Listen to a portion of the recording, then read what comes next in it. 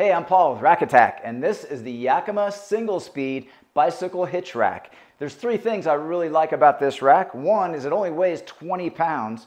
Two, it's very compact because it is just for one bike, but it can fit a wide range of different bikes, anywhere from a bike with 20 inch wheels up to bikes with 29 inch wheels, road bikes, mountain bikes, and even fat tire bikes.